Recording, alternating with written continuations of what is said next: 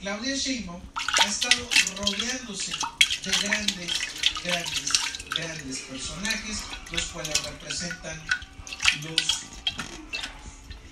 los grandes logros de la cuarta transformación y los derechos y los valores éticos y la gran lucha que han permitido estos, estos personajes. Recordemos que la última adhesión que, fue, se hizo, eh, fue el exsecretario de Derechos Humanos, Alejandro Encina, cuya renuncia fue confirmada este jueves por nuestro presidente Andrés Manuel López Obrador. Días pasados, a Juan Ramón de la Fuente, embajador de México ante la ONU, con quien acordó trabajar en unidad para impulsar avances de la cuarta transformación.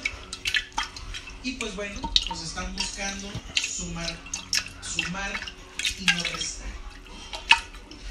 También Pedrero... Eh,